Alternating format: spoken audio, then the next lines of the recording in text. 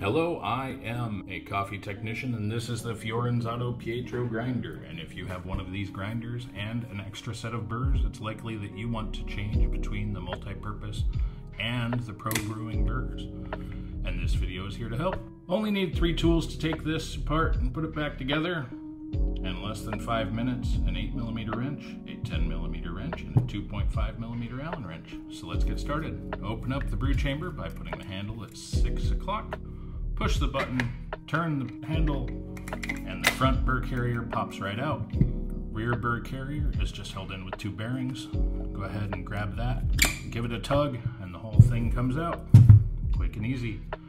In the middle of the rear burr carrier, there is a flat. It's a 10 millimeter flat. And a 10 millimeter wrench fits in there perfectly. 8 millimeter wrench fits right on the front.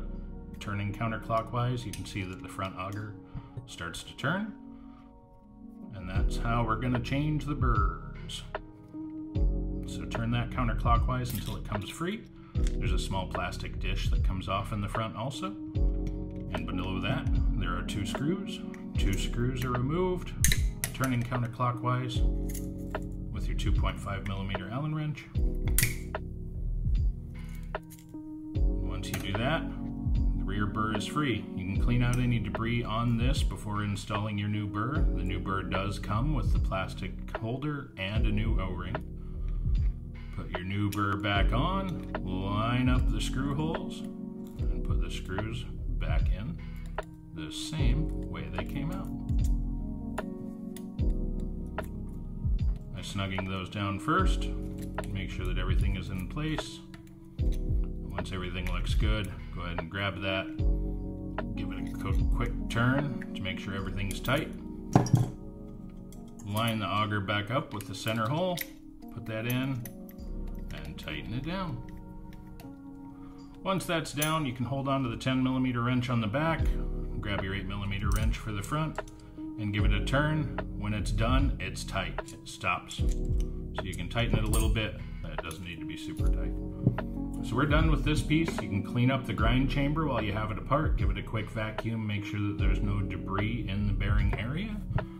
And the rear burr slides right back in, right where it came from. Front burr, also quick and easy. There's a hole in the front right next to the button. And that hole is for your Allen wrench to slide through and reach the front burr screws, which are opposed and the tool goes straight through the front into the burr and it should pop. Go ahead and find the other one. And that's it. Loosen those screws until the front, bear, front burr is loose. Front burr is loose. You can take your new burrs, set them back on, line up the screw holes, and snug everything down.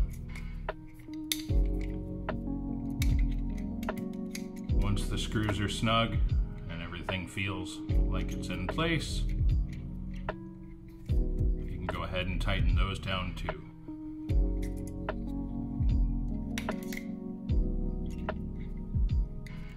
Now the trick to lining the burr carrier back up and installing it into the grinder is to go ahead and line the button up to where it's engaged. Turn the auger so that the fin is pointed at 6 o'clock. And then line your burr carrier back up with the cutouts, turn back to 6 o'clock, and it's back together and ready to go. Thanks for watching.